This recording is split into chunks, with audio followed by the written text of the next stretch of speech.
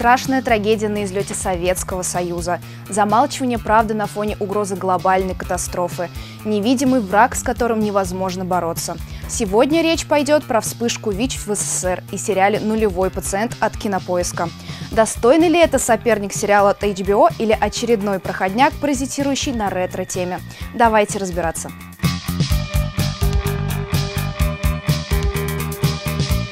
Привет, меня зовут Яна, и я посмотрела все сериалы за вас, поэтому вам не обязательно.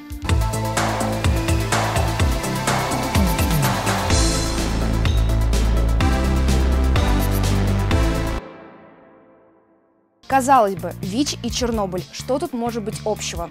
Однако сериал от HBO и «Нулевой пациент» рассказывает об одном и том же историческом периоде и затрагивает примерно одинаковые проблемы. Конец 80-х в СССР был богат на разного рода событий по большей части печальные. Техногенные катастрофы, национальные конфликты, стихийные бедствия, масштабные катастрофы на транспорте и массовые протесты. Страну и так знатно лихорадит, а тут еще и политика гласности подоспела. Стали всплывать не только грехи советского прошлого, но и косяки настоящего.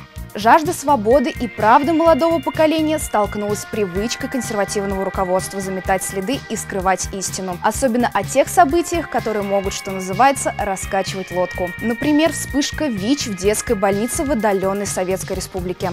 Строили развитой социализм, ну, солнечный круг, небо вокруг и так далее.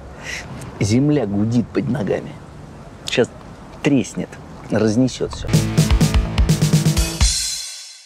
В СССР не было не только секса, но и других его неотъемлемых атрибутов. СПИД считался исключительно буржуазной болезнью, и у нас его быть не могло. А тут вдруг дети. Как такое могло произойти? На этот вопрос и пытаются ответить главные герои сериала «Нулевой пациент». В республиканской больнице в Элисте, что в Калмыкии, молодой педиатр Кирсан Аюшев обнаруживает странные симптомы сразу у нескольких своих пациентов. Параллельно в Москве инфекционист Дмитрий Гончаров исследует ВИЧ в спецлаборатории. Он один из немногих в стране, кто осознает истинную опасность этого вируса. Разумеется, он сталкивается с отрицанием со стороны медицинских чиновников, включая министра здравоохранения. Инициативного педиатра педиатра также пытается осадить начальник. Однако Кирсан все-таки отправляет образцы крови в столичную лабораторию, где подтверждаются его худшие опасения. Это действительно ВИЧ. Гончаров быстро понимает, что единственный союзник в этой борьбе – огласка. Он сливает информацию о вирусе знакомому репортеру Игорю Карахану, который печатает статью со звучным заголовком «СПИД в СССР». Реакция властей не заставляет ждать. На героев выходит товарищ майор Петр Шипов. Сразу становится понятно, что история будет развиваться по нескольким направлениям, а сериал – миксовать жанры. С одной стороны, это медицинский детектив, загадкой о том, как дети могли заразиться взрослым вирусом. В то же время это драма об обществе перед лицом неизвестной смертельной болезни, связанной с перспективой массовой истерии. Еще одна важная часть сериала – рассуждение о переломной эпохе, грядущих переменах, новых нравах и о том, какое влияние это все оказало на разные поколения. Задача амбициозная, но как авторы с ними справляются – если «Чернобыль» от HBO был попыткой реконструировать конкретные исторические события, то «Нулевой пациент» обходится с реальной историей довольно вольно. Это скорее сериал по мотивам тех событий. Часть героев вымышленные, хоть и имеют реальных прототипов. Режиссер Олег Маловичко утверждает, что у проекта не было цели обличить виновных. Важнее то, как страна справилась с подобным вызовом. Какова цена лжи? Этот вопрос был заглавным в Чернобыле. Он же справедлив и для нулевого пациента. Сокрытие информации о вирусе – так же, как и о радиации, может обернуться тысячами и миллионами смертей. И что еще хуже, это дает пищу для всевозможных мифов о ВИЧ, которые порождают неприятие и агрессию среди населения. Так что помимо борьбы с системой, герои вынуждены противостоять мракобесию простых людей. Понимаете, что кто-то мог заразиться, им помощь нужна. А по-моему, пусть дохнут. Устроили перестройку ускорения, повылезали. Справляются они с этим по-разному, поскольку и сами персонажи не так просты. Гончаров чистым лицом Никиты Ефремова мог бы стать классическим героем совестливой эпохи. Однако авторы не идут по этому пути.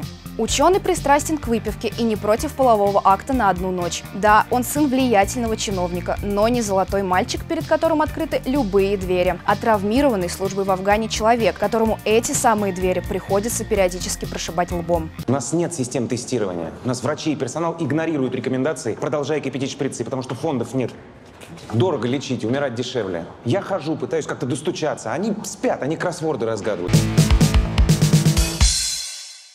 Добрый доктор Кирсан тоже нетипичный борец за справедливость, а зрители довольно быстро видят его сомнения и страх перед собственным открытием. К тому же вся история становится для него очень личной, и даже представитель КГБ тут не абсолютное зло. Персонаж Павла Майкова – человек явно с двойным дном. Майков тут вообще очень хорош, так что если вы в последний раз видели его в бригаде, то крайне рекомендую. Будете приятно удивлены. Вопрос только в том, насколько твоя вина имеет отношение к тому, чем я сейчас занимаюсь. То есть вы такой карающий ангел. Нет. Я скорее буёк. Буёк? Ну и еще один основной герой. Да, тут их как-то действительно много. Репортер в исполнении Евгения Стычкина, который отвечает за донесение правды до людей. Поначалу мне показалось, что Стычкин полный мискаст. Его нетипичный образ не особо попадает в эпоху. Однако актер вполне органично смотрится в кадре. У него получился бунтарь, настоящий человек нового времени. Кроме того, Стычкин тут выступил как режиссер. Работал в дуэте с Сергеем Трофимовым, который должен был отвечать за визуал и техническую часть. И с этим у проекта все очень в порядке. Воссоздана с максимальным вниманием к деталям. Еще одна очевидная схожесть с Чернобылем. Правда, в «Пациенте» мир позднего Союза более яркий. На атмосферу работает музыка. Создателям удается погрузить зрителей в уютную ностальгию. Один из самых удачных приемов – использование видеохроники московских улиц. Снято все очень стильно, хотя порой кажется, что Москва тут какая-то по-голливудски нарядная.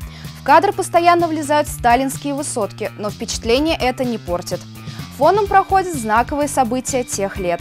От конфликта в Нагорном Карабахе до премьеры «Маленькой Веры» первого советского фильма, где была показана постельная сцена. В сериале, кстати, они тоже есть, но довольно целомудренные. Да и в контексте разговоров про СПИД выглядят они весьма двусмысленно. И пока все спят, вирус распространяется. Он может быть у любого. У тебя. У меня.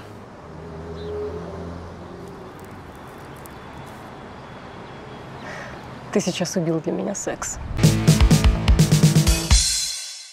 У женских персонажей в сериале «Нулевой пациент» роль больше сопроводительная. Одной из самых интересных героинь выглядит мать погибшего младенца по имени Геляна, которой одновременно приходится столкнуться с потерей, чувством вины и осуждением со стороны окружающих. Ее сыграла калмыцкая актриса Евгения Маджиева. Говорить о ВИЧ, не касаясь темы запрещенных в Российской Федерации сексуальных ориентаций, было бы сложно. Авторы пациента справляются с этим на удивление хорошо. Тактично и без стереотипов. Да, персонажи все еще второстепенные, но и интересные. Со своими личными драмами, и это добавляет важный штрих картине эпохи. И уж точно гомосексуалов тут не выставляют главными виновниками всех бед. Гостиница только для командировочных. Домой приятеля не пригласишь. Там соседи. Они выползают, как только темно становится. Как вампиры. Здесь, на Трубной, в Эрмитаже, у Большого театра, в музее Ленина в туалетах. Трагедия в Элисте случилась совсем по другим причинам. Чернобыль взорвался из-за лжи и безответственности. В пациенте же игнорирование и отрицание опасности до добра не доводят. Устаревшая система здравоохранения с экономией использования многоразовых инструментов и отсутствие тестов наложилась на банальное человеческое легкомыслие и вранье. Хотели сэкономить на одноразовых шприцах, а получили угрозу заражения банка донорской крови во всей стране. Страх врачебной ошибки тут доведен до предела. Остается вопрос, откуда вообще в детской больнице взялся ВИЧ? Тут мы возвращаемся к линии расследования, которая в сериале решена в духе Шерлока. С детективной доской с булавками, доказательствами и динамичным монтажом. Отдельный плюс, что подобное расследование не имело претендентов, поэтому четкого плана, как найти нулевого пациента, у героев нет. Одни ищут ответы в пробирке, другие работали в поле, пока число зараженных растет. Параллельно у московских чиновников появляются свои версии происходящего, больше похожие на теории заговора. Допускаю диверсию. Ну, если СПИД – это биологическое или политическое оружие, наш с вами противник. Почему бы нет? Да и Риста выбран не случайно. Что вы имеете в виду? Как мне докладывают, в Калмыкии резко активизировались религиозные националистические движения. Но учитывая, в каком положении сейчас находится наша страна,